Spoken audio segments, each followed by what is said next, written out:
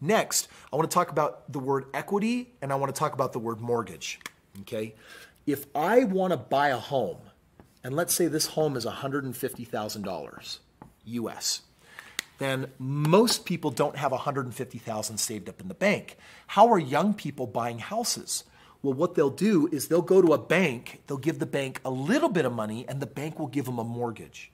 The mortgage is, and another name for that is a note. That's where the bank says, all right, we looked at your job history, we looked at the money you're making, we feel comfortable with you, we're actually going to give you a mortgage, which means we're going to lend the money you don't put up. So let's just say for a moment you put up the typical 3%, 5%, but for easy math today, we'll call it 10%. Let's say you came up with $15,000, then the mortgage would be for the difference. So 150 grand minus this 10% down, down as in down payment, would be the remaining balance of 135,000. So I put $15,000 of a down payment and there was a $135,000 mortgage. Now that mortgage is going to come with an interest rate because the bank's going to say, we're not giving you our money for free. You got to pay that back over time plus interest. So the bank says, we're going to do a 6% interest rate.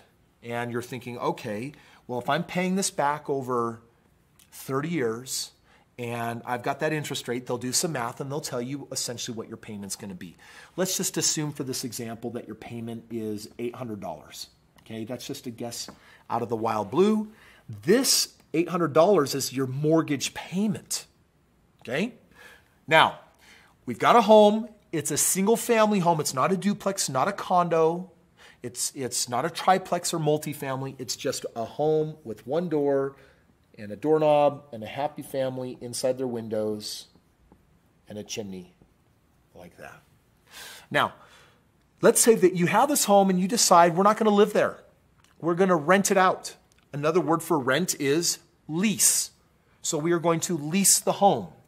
My mortgage is $800, but I might get my renters to pay $1,000 a month. My mortgage payment is 800. My rent payment or my lease is for $1,000 a month. So this is my rent payment, this is my mortgage payment, and the difference is that if you have to pay the bank 800 every month, but your renter gives you 1000, there's some leftover money. How much? 1000 minus 800 is 200. What do we call that? That's called cash flow. And cash flow is good. So you buy a property, and uh, let's say all of a sudden that this house, I'm going to throw you a zinger. Now this house is worth $200,000. It's worth 200. You bought it for 150. You put $15,000 down, you got a mortgage for 135, but it's worth 200. Here's the question. How much equity does it have? What's equity? The equity is the difference between what it's worth and what you owe. So in this case, 200,000 minus the 135 is $65,000